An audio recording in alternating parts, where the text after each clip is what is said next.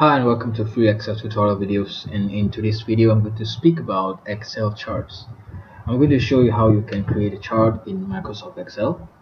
Um, the first and most important thing that you need to create a chart in Excel is a good set of data.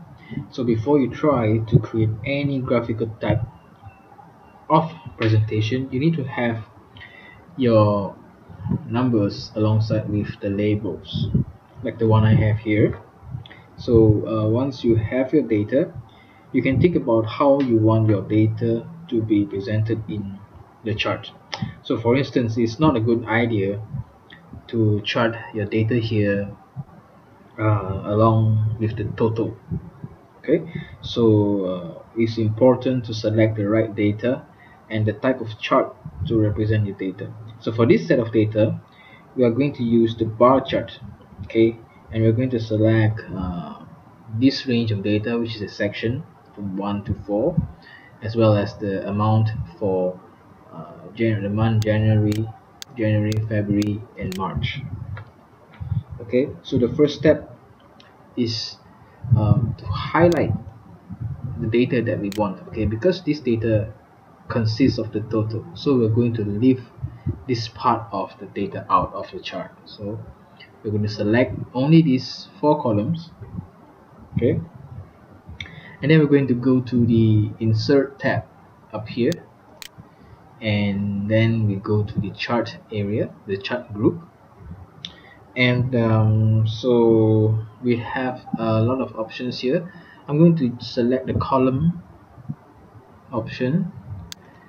Okay we have um, several options to choose from and I'm going to let's go for this 3d clustered column.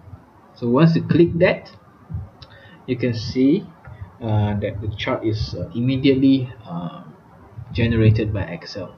So let me you can see that the the border of this white area here is um, and you can move the chart um, to a specific place in the worksheet.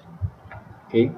What you can do is uh, you can let me just move this here. And let me make it smaller. Okay you can make it bigger. You know like this. Or you can make it smaller like this. Okay. Let me just make this a little bit smaller no. Okay uh, let me just make this bigger. Let's go ahead and cover let's go ahead and cover the data. Okay all right so we have a we have a nice chart here.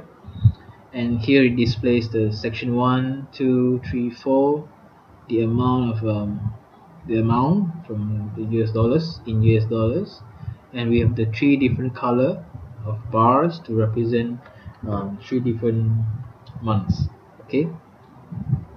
So uh, if you notice right here if we are working with the chart we will get additional settings that we can choose here. And uh, these additional settings are the design layout as well as the format okay? You'll notice this chart tool tab appearing when we have selected the, the chart area. And if I click somewhere else in the chart say here okay you will see that the tab is missing and the design layout and format option is also missing okay? So that option only appears when we have selected the chart. Okay. So uh, there you have it. A very simple way to create a chart using Excel to present your data in a very clean and professional method. I hope you like the video. Thank you for watching